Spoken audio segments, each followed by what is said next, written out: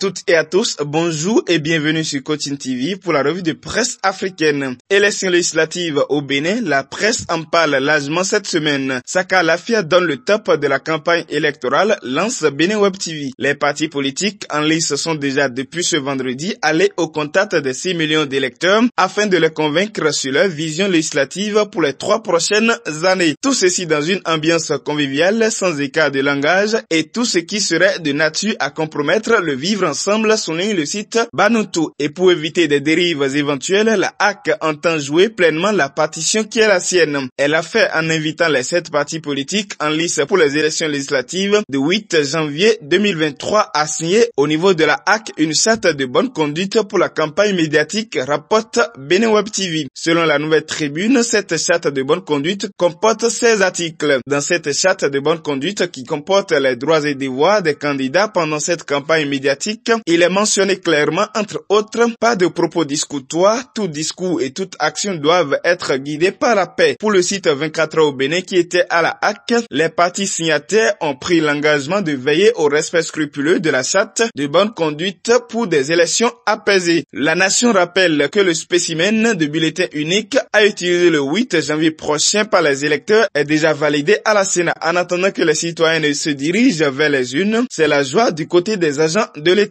Revalorisation salariale des agents de l'État au Bénin, de la promesse à la réalité. C'est la fraternité qui annonce la nouvelle et jure que les fonctionnaires passeront de bonnes fêtes. Le gouvernement a accompli son vœu du hautement social pour le compte de l'année prochaine. La revalorisation des salaires déjà effective depuis le mardi 20 décembre constate le potentiel. Les fêtes de fin d'année s'annoncent bien dans les familles des travailleurs béninois. Le gouvernement en bon père de Noël n'a pas attendu le 24 ou le 25 décembre avant de bonifier le salaire des agents de l'État, soupit le quotidien Le Potentiel. Le gouvernement du président Patrice Talon est passé de la parole à l'acte dans la promesse de revalorisation des salaires des agents de l'État. Le secrétaire général de la Confédération des organisations syndicales indépendantes du Bénin, Noël Chadaré, a confirmé cette augmentation à en croire Web TV. Mais dans le rang de l'opposition, on répond autrement à cette augmentation. Paul Rompouet, chef de file de l'opposition, pense plutôt qu'on ne pas s'extasier car il ne s'agit nullement d'une faveur mais plutôt des droits qui malheureusement ne sont que partiellement acquis. C'est le journal Matin Libre qui rapporte les propos du leader de FCBE. De toute façon, les fonctionnaires jouissent déjà de leur salaire arrondi, loin des guéguerres et tout calcul politique.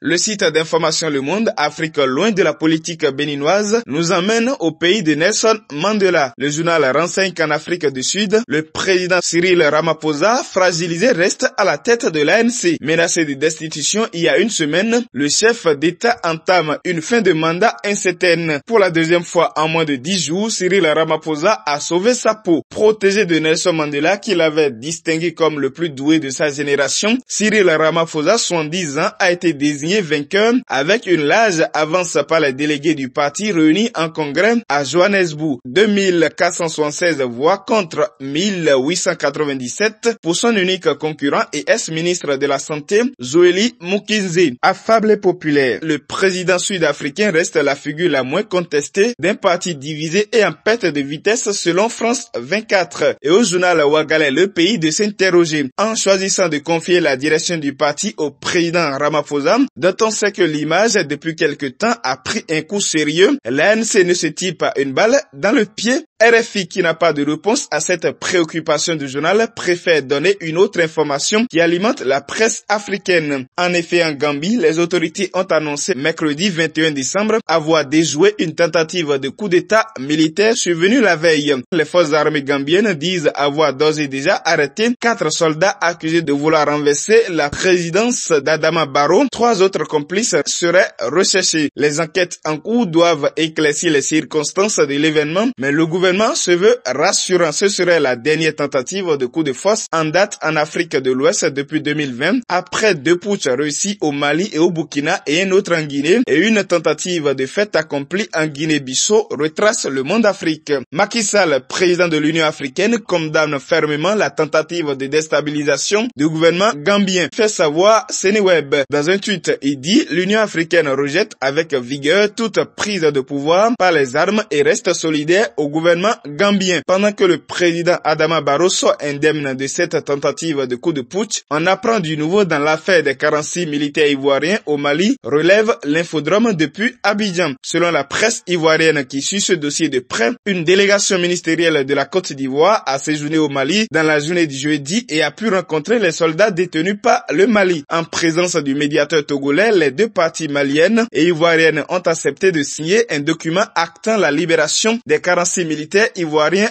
su RFI. Fin d'année va-t-elle rimer avec fin de détention pour les 46 militaires ivoiriens retenus prisonniers par la junte militaire malienne depuis cinq mois Tout concorde à le croire, écrit Wakat Sera. L'ambiance de travail était fraternelle, commente un membre de la délégation ivoirienne. Nous avons avancé sur le dossier, confie de son côté une source officielle malienne selon les informations relayées par Radio France Internationale. Enfin, parcourons la une des quotidiens sportifs qui reviennent largement sur le bilan des équipes africaines au cours du mondial 2022 au Qatar pour conclure cette revue de presse africaine. À Johannesburg, mercredi 21 décembre, le président de la Confédération africaine de football, Patrice Montepe, a félicité les équipes africaines qui ont disputé le mondial au Qatar, en particulier le Maroc, qui a atteint les demi-finales. Il a également affiché sa confiance quant à une sélection du continent en finale lors de la prochaine édition. Afrique Top Sport parle d'un Patrice Montepe très satisfait de la participation africaine à la Coupe du Monde de cette année. Pour le quotidien sportif Europe 1, des dizaines de milliers de Marocains ont accueilli mardi en héros les Lions de l'Atlas à leur retour à Rabat après une incroyable épopée qui les a conduits en demi-finale du mondial au Qatar, un exploit sans précédent pour une équipe africaine ou arabe. Ils ont été reçus par le roi Mohamed VI en reconnaissance de cet exploit historique. Ce dernier a remis des récompenses au président de la Fédération marocaine de football, à l'entraîneur de l'équipe et aux joueurs, mentionne Africa News.